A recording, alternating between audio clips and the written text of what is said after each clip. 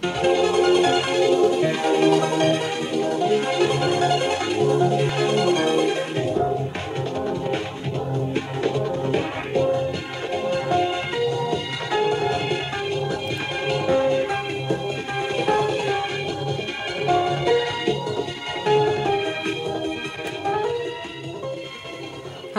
Merganman 4 here. What's up, guys? And uh, I'm here with another LEGO Star Wars review.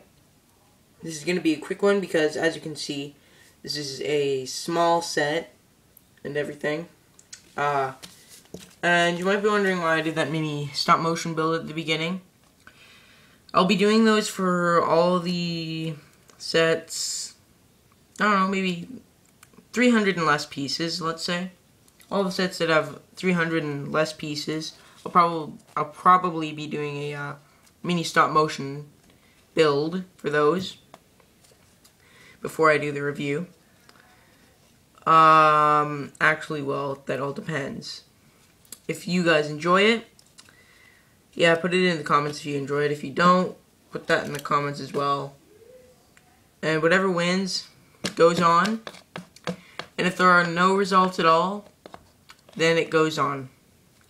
So, anyway, on to this. So, it is in a box. It's a package. Plastic package. Because it's a mini set.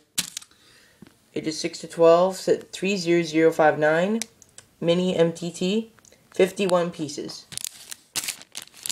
As you can see that there. And these are only $5. You can find them at Walmart, Toys R Us, all those stores and all that. So, yeah, quick comment. Now, there's this, which is the instructions. Pretty small, right?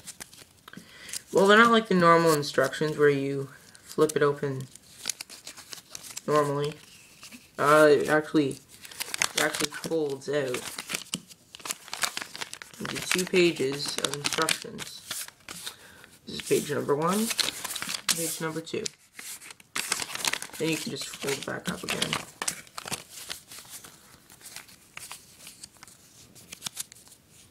Oh, that's a new way of folding it. I haven't folded it that way before, but I guess you can.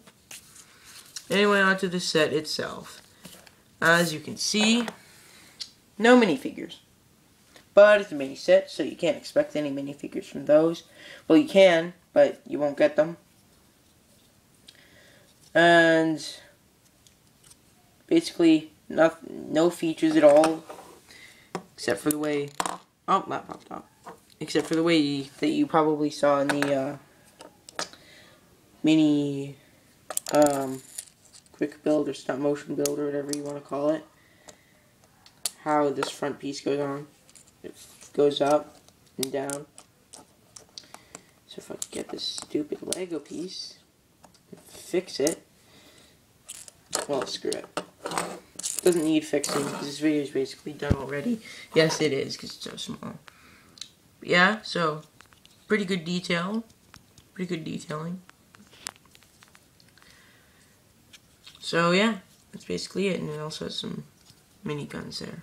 But anyway, that's about it for this very fast review. And anyway, Darkman 4, over and out. See you guys later.